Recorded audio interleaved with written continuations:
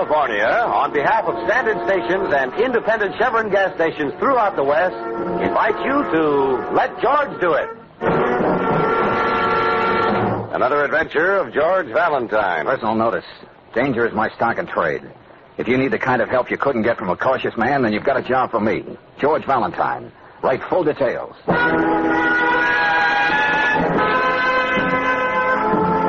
Mr. Valentine, you may have forgotten the one time we met. You were the best man at my wedding. Yes, I'm Joe Burke's wife. You won't believe what's happened to him. Easygoing, happy-go-lucky Joe. He's a pitiful mental case, and they've got him in a sanitarium. You were so close to Joe in the army, I thought maybe if he saw you again, it might do more than the doctors have been able to do. I thought of this when I saw your ad in the paper, like a ray of hope. Won't you try to help me? It's signed anxiously Laura Burke. Joe, a mental case?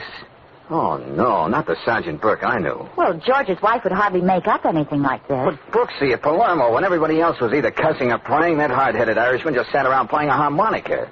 Danny boy. It's funny I never heard you talk about him. Well, you know how those things are, Angel. You swear on your GI dog tag that you're going to be sure to keep in touch with each other, but as Tempus Fugit's Auld Lang Syne becomes just the name of a song. But you were his best man. This kid Laura came down to camp. We hopped a jeep over to the chaplain, and it took 15 minutes for the tender vows.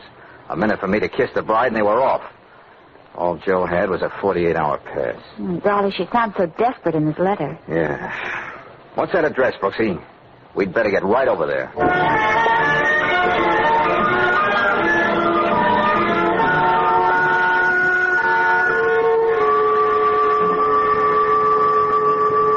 It's only one chance in a thousand. I had to turn to you, Mr. Valentine. The name is George, remember? He's in that place, getting worse every day. And how he doesn't even recognize me. Laura, we do want to help you. But, honey, you're making it so much harder. Here, sit down. I'm sorry. I know this is tough on you, Laura, but try to tell us the whole thing from the beginning. How did this happen to Joe? When? Well, about a month ago, they brought him home from Egypt. Egypt? What was he doing there? Well, after he got out of the army, he got a job with an export company, Kessling Limited. The money was so good he couldn't refuse it. He planned to keep it for two years so so he could put some money aside. Oh, it must have been terrible being separated again. Did Joe uh, begin to lose his grip while he was abroad? Oh, he sent letters regularly, wonderful, cheerful letters about the future. And a couple of months ago, he stopped writing. Yes, Laura? And then, and one day he walked in with Dr. Taruk. Wait a minute. Who's Dr. Taruk? Some kind of psychiatrist the company sent back with Joe to take care of him. Mr. Kessling, he's the president of the company. He's been very kind. What did they say happened? Some kind of explosion outside the city. Joe happened to be around, and when he came to in the hospital, he... he, he... Now, take it easy, Laura. Hey, you want to knock off and have a cup of coffee? No, go on. I'm all right. I'll never forget it. Dr. Taruk left us alone for a minute. Joe just stood there, right where you are, looking at me, looking through me. He tried to talk, but it seemed to hurt too much, so just kept staring, staring. Oh, George. He took a box of face powder from his pocket and handed it to me. Powder? I guess he meant it as a gift. So pathetic. A box of cheap powder. Horrible to watch. Okay, Laura. I think we've heard enough to begin with. Uh, where have they got Joe? The Hillcrest Sanitarium. His company's paying all the expenses, and Dr. Taruk says in time he hopes Joe will be all right. Yeah. But he's getting worse, you see. I, I thought if you saw him and talked to him, maybe... Maybe by some miracle he'd begin to remember things. He thought so much of you. I know. All right, Laura. You want to come along with us? No, I... I always seem to upset him. Okay. Yeah, Claire and I'll drop in on Joe. And here's hoping it'll do some good.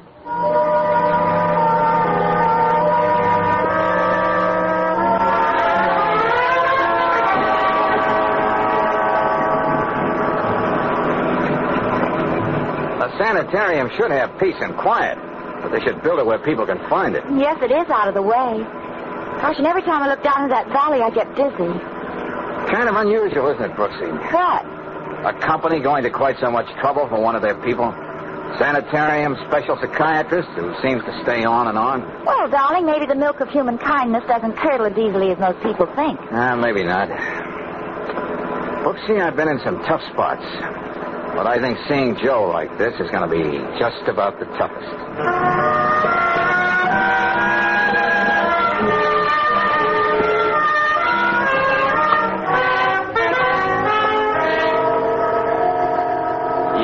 With the mind, Mr. Valentine. One is never sure what will be good or bad for the patient. Yeah, I think I know what you mean, Dr. Taruk. Perhaps this visit from a dear friend out of the past may do Mr. Burke a world of good. However, on the other hand, Will we be able to see him soon? in a few moments, but perhaps it would be wiser for a young lady like you, Miss Brooks, not to see him at all. Huh? There are just a few things I want to know, Doctor, before. Dr. Taruk. Uh, Oh, Rodney, will you come here? This imposing but very competent gentleman is the male nurse I've hired to be with Mr. Burke when it is impossible for me to be present. Oh, yeah. He's acting quiet now, Doctor. Good, very good.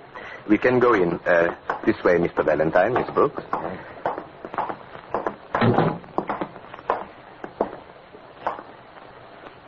There he is.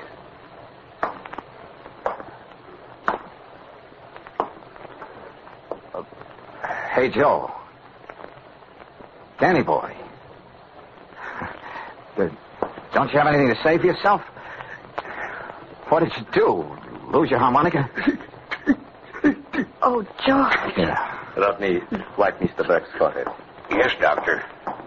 You can see, Mr. Valentine, what an effort it costs your friend to try to speak. I'm not blind, Doctor. Permit me to explain.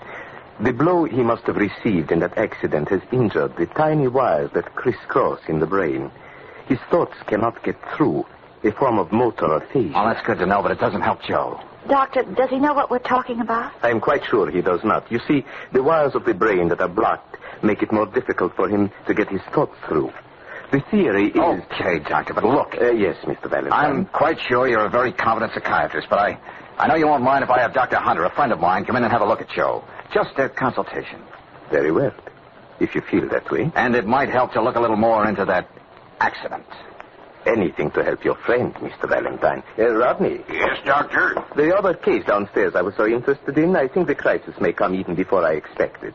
Uh, would you mind being there to do what is necessary? Then let me know exactly what happened. I'll take care of everything, Good. Doctor. Try talking to him again, George. Hey, look, you big oaf. Stop holding out on me. You know who I am. Hey, we got a lot of old times to talk about. You know me, Valentine. Oh, I suppose it's no use.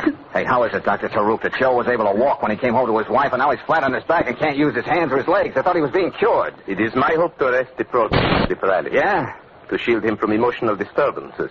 Rid his mind of fear. Fear? What fear? Joe was never afraid of anything in his life. This is a different kind of fear. The fear of becoming a mental basket case with no future and no hope. Oh, cut it out, Doctor. Mr. Valentine, I was just stating the facts.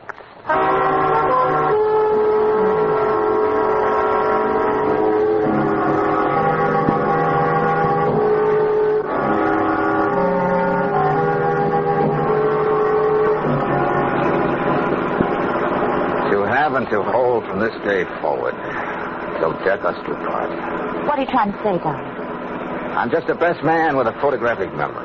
Oh, I know how you feel about Joe and Laura. Death, Brooksy, those two should be together. Something's got to be done about it. Look, do yourself a favor, George, and listen to me. This is something you don't know anything about. You're no psych- psychiatrist. No, no, you listen to me, Angel.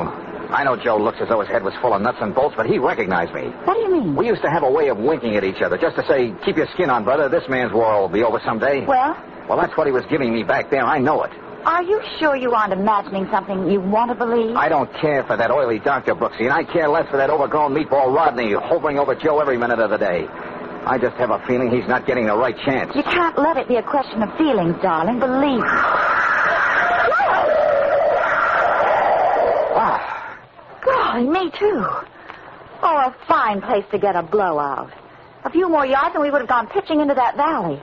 Hey, wait a minute, Brooksy. Don't open that door. Get down. George, what's the matter with you? Maybe that wasn't a blowout. What? Just playing safe. Well, there doesn't seem to be anyone around now. You stay where you are, Angel. I'll take a look-see. Did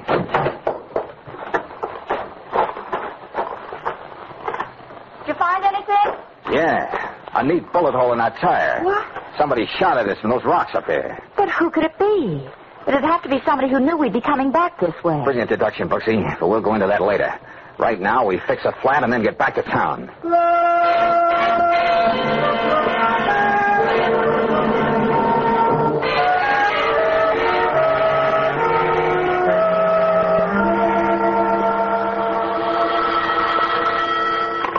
Hello? Yes, he's here just a moment. It's Walker, financial editor of the Bulletin, Good, returning your call. Yeah, uh-huh. You, oh, hold it a second, Walker, huh? Look, Claire, take this down as I give it to you. Okay. Go on, shoot. Uh-huh, yeah. Kessling Export and Import, fined $50,000 six weeks ago. Smuggling diamonds What? and a shipment of face powder. Since then, out of business. Gave up corporate charter. Yeah, thank you, Walker. That was very helpful. Goodbye. George, what have we gotten into? A very touching little situation, Brooksy. The great big corporate hired of Kessling Limited bleeding for one of its employees who was hurt. Yeah. In fact, it keeps on bleeding now, long after it ceased to exist. Because it was caught smuggling diamonds, no less. Well, how do you think Joe fits into all this? I don't know yet. But right now, we're picking up Dr. Hunter and going back to Hillcrest Sanitarium. Let him take a look at Joe.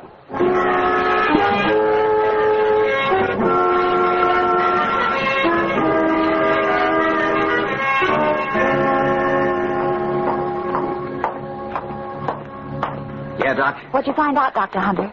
I took a good look at your friend, George, and had a long talk with Dr. Taruk. Well, Frank?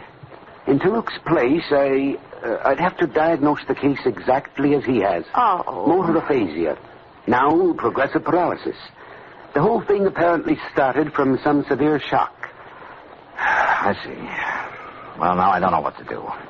His wife told me if we found anything wrong to get him out of here. He's getting all the proper care as far as I can see. Frankly, I wouldn't suggest that he be moved in his present condition. Okay. Okay, Frank, you know what you know, and I know what I know. Now, Maybe I'm wrong about Taruk as a doctor, I mean. But there are too many other things wrong about this setup, including that bullet in my tire. Yes, and I still say Joe Burke was winking at me.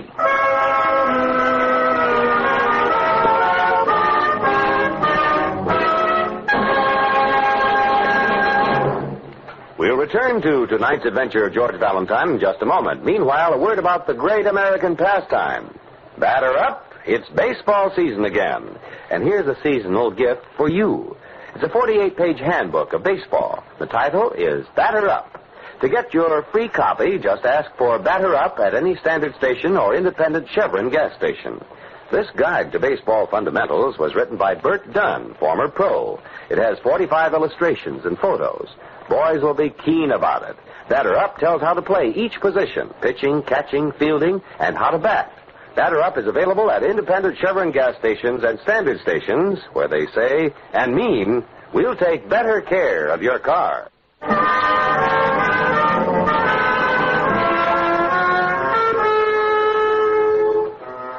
Now back to tonight's adventure of George Valentine.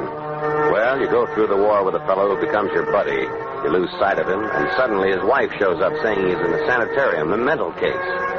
You try to see what it's all about, a bullet comes at you from nowhere. More than that, you're told your buddy is getting the best possible care. You're not convinced, so you decide to dig deeper. In George's case, that means going with Claire to the Customs Service to have a chat with one of the agents. Well, there really isn't much to it, Mr. Valentine, just what you see in this folder. Uh-huh. What does it say, George? Nothing we didn't know before, Brooksy. Kessling Limited tried to smuggle in diamonds, caught with their carrots down and so forth. Well, I don't know what you expected to find, but compared to some of the stunts we run up against, this wasn't anything too brilliant. Apparently not. The company's out of business now. Now, we've had people try to get diamonds through in glass eyes and wads of chewing gum almost every way. Finding them in boxes of face powder, well, maybe they thought it was so obvious they'd get by. Yeah, maybe. Face powder, Brooksy. Why didn't it hit us before? Of course. Joe gave Laura a box of face powder. What's that? Yeah, it's not important, at least not yet. Uh, say, tell me something, Craven. Yes? What happens to the rest of the cargo when you catch people smuggling? Well, we have regular custom sales like an auction. In fact, there's one tomorrow. Oh, that's very interesting. It'll be held in one of those loft buildings down on Fayette Street. There's a public notice in the papers today. Good enough. Come on, Brooksy. Uh, thanks a lot for your trouble. Oh, don't mention it. George, I think when Joe gave Laura that box of powder, he was trying to tell her about the smuggling his company was doing. Could be, Brooksy, could be. But maybe we'll know more about that tomorrow. Young lady, you and I are going to an auction.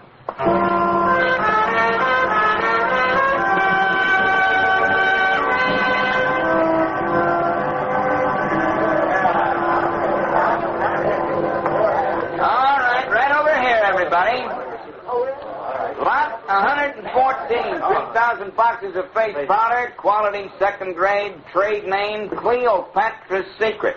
Sorted shades. Now, uh, what do I hear for The whole lot isn't worth a hundred bucks, Brooksy, but here I go and we'll see what happens. Three hundred dollars, Mr. Auctioneer. How, uh, much did you say? Three hundred. If you get stuck with all that powder, I don't know how we're going to get it out of here. Well, I don't suppose there'll be any more bids, so, uh... 400. George. Yeah, no, Angel. I'm going to hit it again just to make sure. Five hundred. 600. 600. The, uh, gentleman who said 500, you, uh, got another bid, sir? Not me. Count me out. Okay, if the gentleman who bid 600... No one ever did find out Cleopatra's secret, Brooksy. What do you say we go downstairs and see if we can't make history?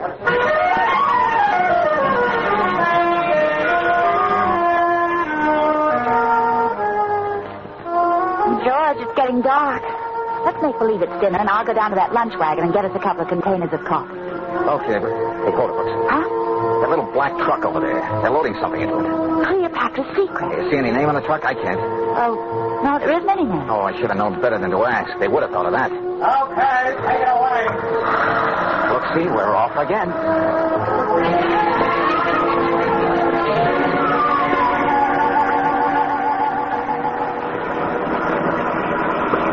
Keep a good half a block behind them, just like this.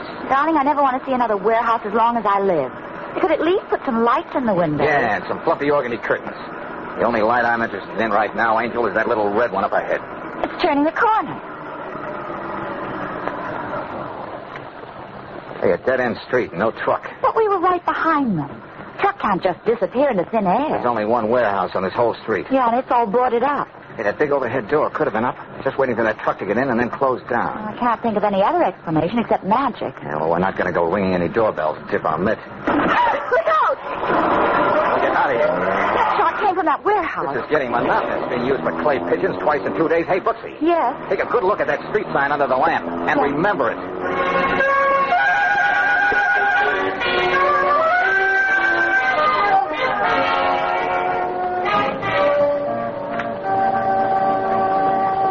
Listen to this, Brooksy. All the dope on that warehouse on Barrow Street.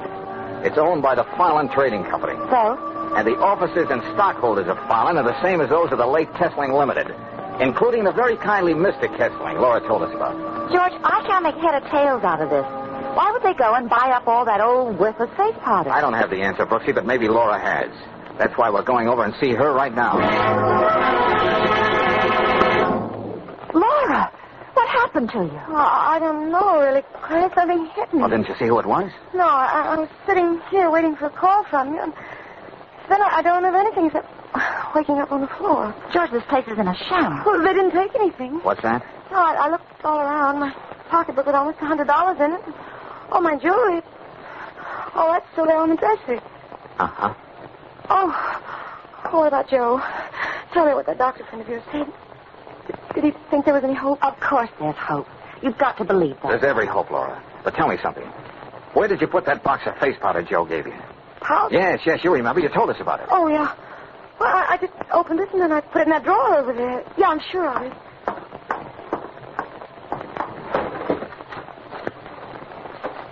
It isn't here now. Laura, listen.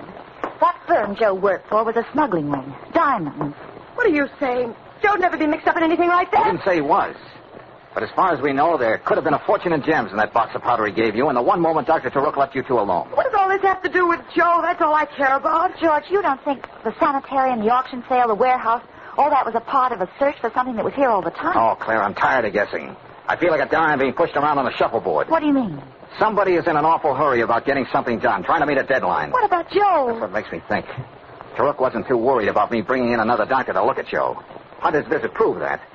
The important thing was to keep me from snooping around, interfering with their schedule. That was the reason for the double talk with Rodney and the pot shot at us. What schedule, George? What are you talking about? Something's coming off and coming off soon. Look, stay here with Laura, Angel.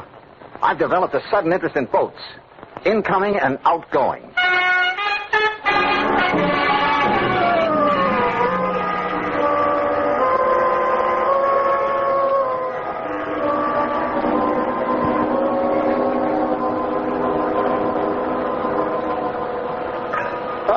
You again, Valentine. Yeah, Craven, the Customs Service and I are getting to be just like that. I'll be right with you as soon as I clear this manifesto. All right, Darty, you can put that shipment through. Hey, look, fella, this is really important, and time is what we don't have the most of. Huh? Oh, if you've still got that Kessling deal on No, your mind, no, I... no. Same people, but a different name. As far as you know, is there anything coming through for the company known as uh, Filing Trading? No, I don't know, but I can soon find out. Here, just a minute. Oh, Well, no, I don't see anything. are you sure? Everything points. Hey, wait a minute. Yeah? Here it is. I missed it because the boat's already in. Uh-huh. It's anchored out there in the harbor. Has the cargo been cleared yet? No, that's scheduled for tomorrow. Uh, what's Filing bringing in? Uh, three crates of powdered cocoa beans from the West Indies, shipping in on the Pandora, Peruvian registry, Captain No, Martin. no, we can skip that, Craven. How soon can we get out to the Pandora? Why? Tomorrow we'll I be told unloading. you, Kessling and Filing are one and the same trading company. Hey, I think I see what you mean, Valentine. We'll take a speedboat, get right out there to the Pandora.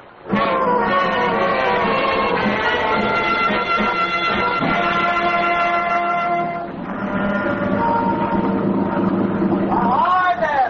Customs service, Captain, we're coming aboard. Come on, Valentine. Yeah, what can I do for you? I thought you weren't ready for us until tomorrow. There's something special turned up, Skipper. Yeah, specifically powdered cocoa beans for Filing Company. Hmm. Maybe it's- Lord, this trip. Those are some of their crates right here on deck. Okay, let's try this one for a start.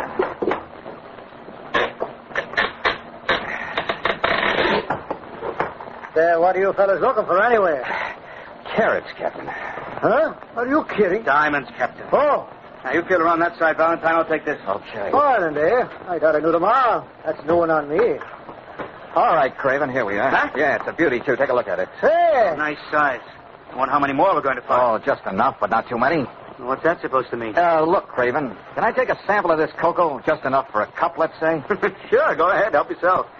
I doubt if they'll miss it when we auction the stuff off. Uh, thanks again for the tip, Valentine. Oh, you're very welcome. But don't be surprised if I get in touch with you again.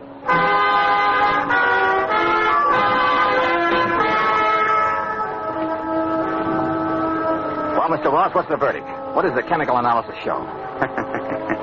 Powdered cocoa, huh? Oh, never mind the suspense. What did you find? Oh, there is cocoa here, all right, but mixed with something that sells for roughly $7,000 a pound. Dope. Seven thousand dollars a pound. No wonder Kessling and the boys could afford to use diamonds for window dressing. Uh, what's that? Oh, it'd take too long to explain. Thanks. And remind me to submit your name for the Nobel Prize.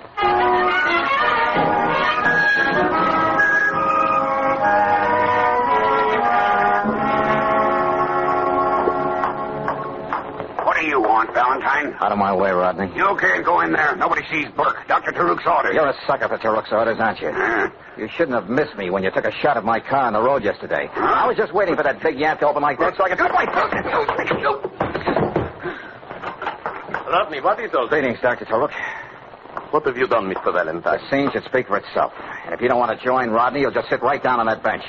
Maybe you should be a patient here, Mr. Valentine. Oh, yeah, sure. I got a persecution complex. I can't rest. I can't sleep. I see things, have bad dreams.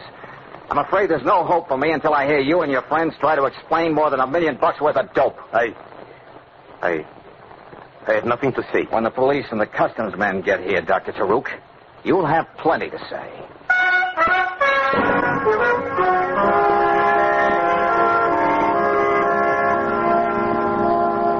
Can you beat that, Valentine? Using diamonds for a smokescreen.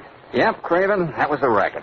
They plant the diamonds, not too expensive ones, of course, in case the shipment is open. If they're found, nobody looks any further. Then they pay the fine, and they buy up the supposedly worthless stuff at the auction for peanuts and make themselves a million. Uh, tell me, uh, how did that friend of yours in the sanitarium fit into all this, Valentine? Well, as I get it, Joe found out what Kessling was doing and was going to talk. All that stuff about an accident in Egypt was a bunk. Now, they gave him a brutal going over. When he came out of it, he had what psychiatrists so pompously call functional neuroses induced by severe blows on the head. Gosh, they probably meant to kill him. Sure, but why take chances? There might be investigations. Now, they figured it was better this way. Taruk could see to it that Joe didn't snap out of it until this shipment came through, and they'd all take it on the land. That was their deadline.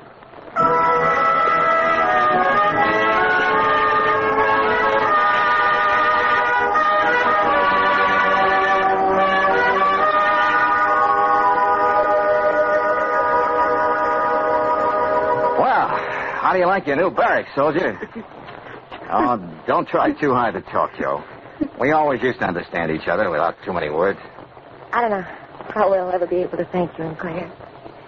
Dr. Honey says Joe's gonna be all right. Uh, George, what about that wedding present?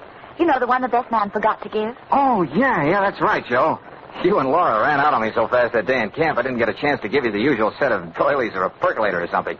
Well, uh, now you can at least be the messenger of some good news that may make up for that. The cu- customs man told us. It says right in the book, anyone instrumental in thwarting a smuggling attempt is entitled to 25% of what the Treasury gets on dutiable goods. Yeah. And those diamonds don't come cheap, you know. That's right, Joe. You're really the guy who was uh, instrumental. At ease, soldier. Hey, you know, Brooksy, this time I'm sure he winked.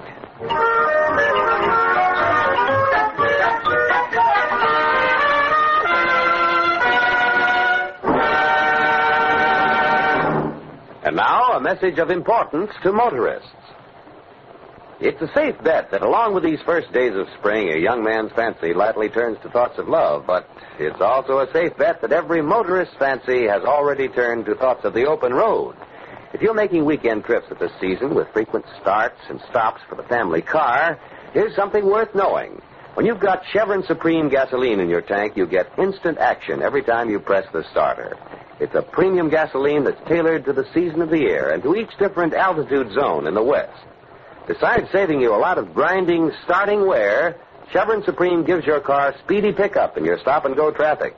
And it assures full power for rugged hill climbing. Best of all, you're never far from Chevron Supreme gasoline. Throughout the West, you can get it at standard stations and independent Chevron gas stations where they say and mean, we'll take better care of your car.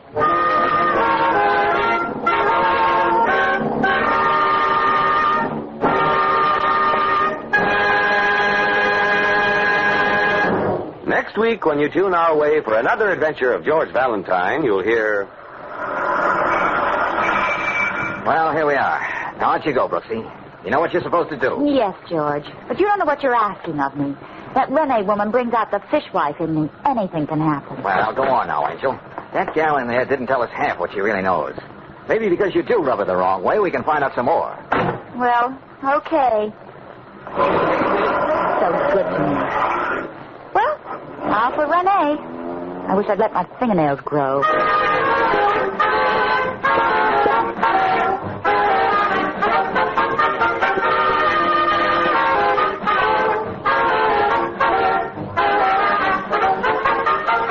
Tonight's adventure of George Valentine has been brought to you by Standard of California on behalf of independent Chevron gas stations and Standard stations throughout the West.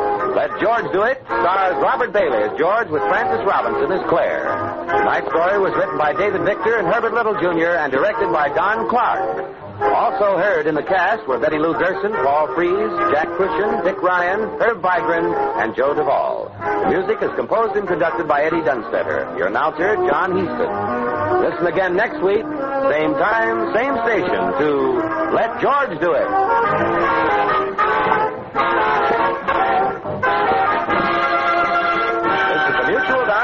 Broadcasting System.